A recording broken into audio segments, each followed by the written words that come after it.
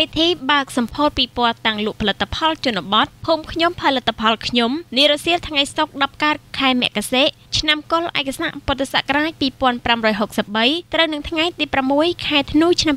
2019អាយុដំអិនចន្ទថារដ្ឋលេខាធិការតំណាងអាយុដំបណ្ឌិតអុករបុនរដ្ឋមន្ត្រីក្រសួងអភិវឌ្ឍជនបទបានអញ្ជើញជាអធិបតីក្នុងពិធីបើកសម្ពោធពិព័រណ៍តាំងលក់ផលិតផលជនបទក្រុងប្រធានបទភូមិខ្ញុំផលិតផលខ្ញុំចំនួន50ស្តង់ដែលរៀបចំដោយនាយកដ្ឋានអភិវឌ្ឍសេដ្ឋកិច្ចជនបទនៃក្រសួងអភិវឌ្ឍជនបទដែលមានការតាំងស្ថិតនៅជាប់រង្វង់មូលស្ពានពោអង្ក្រងផ្លូវវៀងក្រុងស្ទឹងសែនខេត្តកំពង់ធំការតាំងពិព័រណ៍នេះមានរយៈពេល2ថ្ងៃគឺចាប់ពីថ្ងៃទី6 7ខែធ្នូឆ្នាំ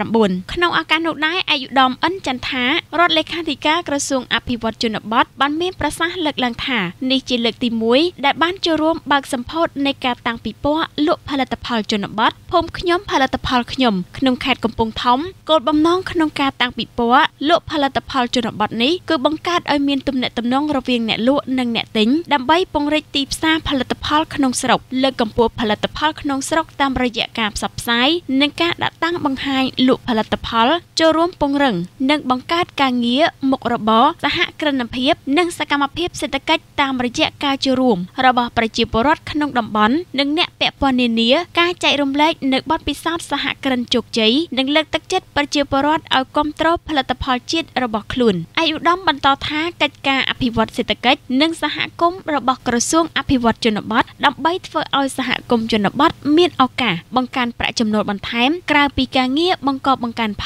ល ក្រសួងបានផ្ដល់ជូននូវការបណ្ដុះបណ្ដាលជំនាញវិជ្ជាជីវៈមូលដ្ឋានដល់ប្រជាជនដែលរស់នៅតំបន់ជនបទប្រកបដោយសមធម៌ដើម្បីមានលទ្ធភាពបង្កើតការងារនិងមុខរបរសម្រាប់លើកកម្ពស់កម្រិតជីវភាពរស់នៅ រួមចំណែកការកាត់បន្ថយការធ្វើចំណាក់ស្រុក ធ្វើឲ្យមានភាពងាយស្រួលក្នុងការស្វែងរកសេវាបាននៅមូលដ្ឋានជាមួយគ្នានេះការបណ្ដុះបណ្ដាលជំនាញវិជ្ជាជីវៈមូលដ្ឋាននៅជនបទបានរួមចំណែកផ្ដល់ឱកាសដល់យុវជនដែលបានបោះបង់ការសិក្សាស្ត្រីមេម៉ាយជនពិការជនងាយរងគ្រោះប្រជាពលរដ្ឋក្រីក្រដែលគ្មានមុខរបរផងដែរ